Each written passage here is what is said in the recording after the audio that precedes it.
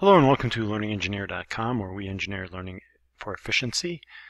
My name is Michael Langdon and today what I would like to do is talk to you about proofreading. And I'm doing that because uh, as a writing instructor I do a lot of proofreading in the writing lab. And what I see a lot of is people not actually doing a very good job of proofreading. And so I want to help you with it. This. One of the basic problems of proofreading is that people don't read what's there, their brain reads what it thinks is there.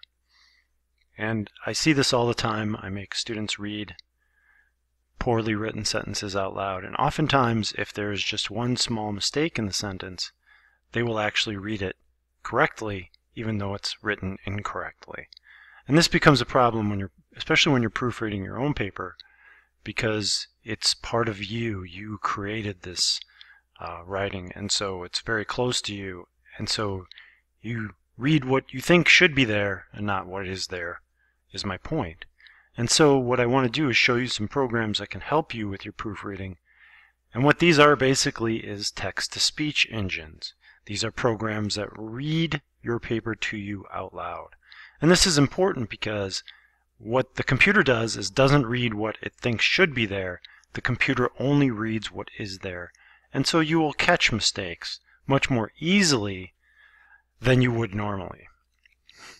So what I want to do is just change uh, some of these things so that you can kind of get an idea. So this is the first one I'm going to show you. This is learningengineer.altervista.org essay writer, essay reader. This is my own creation. It's using a JavaScript library. Uh,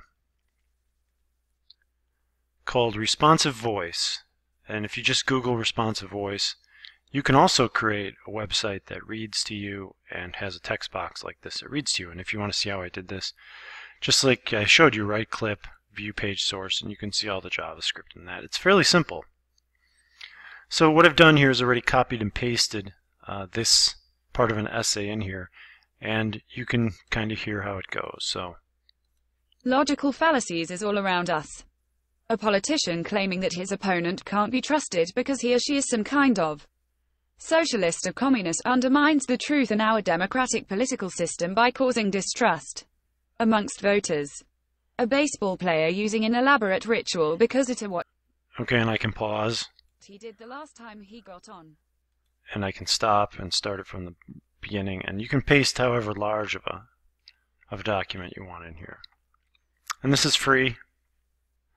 So this is mine. I'm going to close this now. So it's learningengineer.altervista.org forward slash essay writer forward slash essay reader. If you just go to learningengineer.altervista.org, it's essay reader right here. Learning Engineer, where we engineer learning for efficiency. Okay, and that's just my website reading itself to you. So there's that one. Next up we have Balabolka. Uh, with Balabolka, this is a text-to-speech program as well. It has all kinds of features. You can just come here and download it. I'm actually using using the portable one version that I got from Portable Apps, but this is the original website that it comes from. And it's right here, and I've already copied and pasted into here. Now the first time I did this, it didn't get the voice, so I simply went up here to voice, down here to voice, and I select selected my voice. So I have Microsoft Desk David Desktop. And what's nice about this compared to the previous one is this one actually follows along as it reads. So these are your controls up here, I'll just click play.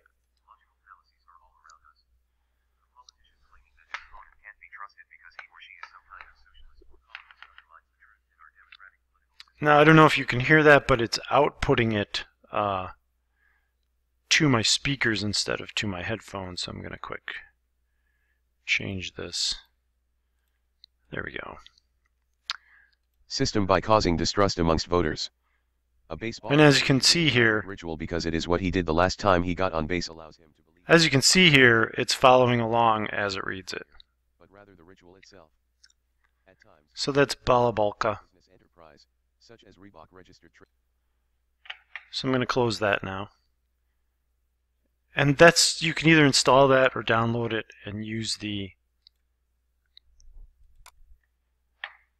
and use the portable app which is here and I just run it double click here and it'll run. So that's Balabolka.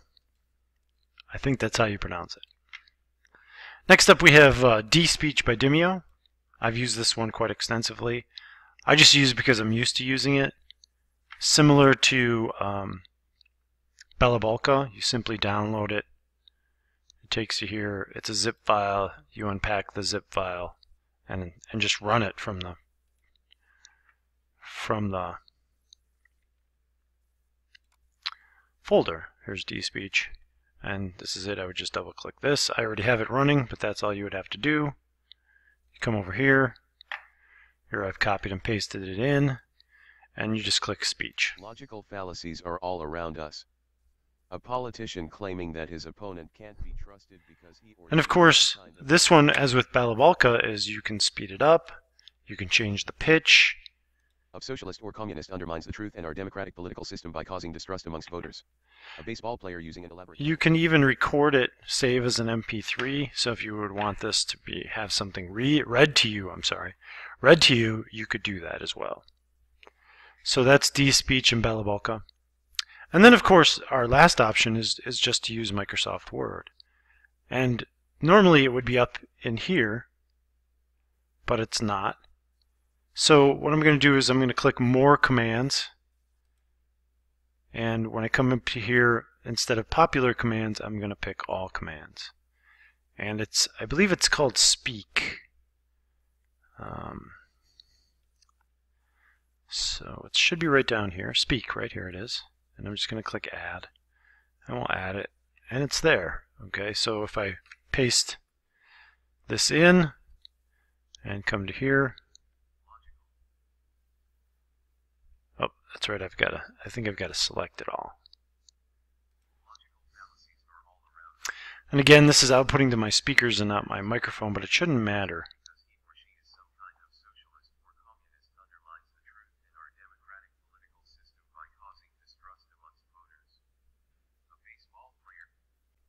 All right, so this is Learning Engineer, and these are four or five programs that will help you proofread your papers. Have a great day.